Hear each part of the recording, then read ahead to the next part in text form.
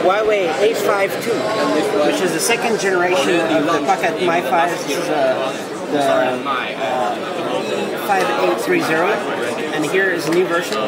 And when you click on the on the screen there, you can actually see there's uh, uh, textual information, LED screen there. It says Voda, Voda ES. Where you have um, still the same buttons on the side, and uh, you can there just turn off the, the service. You can reconnect the service like this. And uh, so it has a faster speed. It does 21 megabit, and it does um, everything else seems to be the same as the old version. So it's just 21 megabits, and uh, it's about the same price. It's just slightly more expensive. But it's still very cheap for talking over Wi-Fi.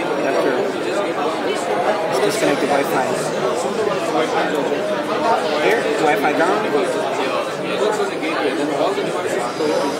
Wi-Fi on.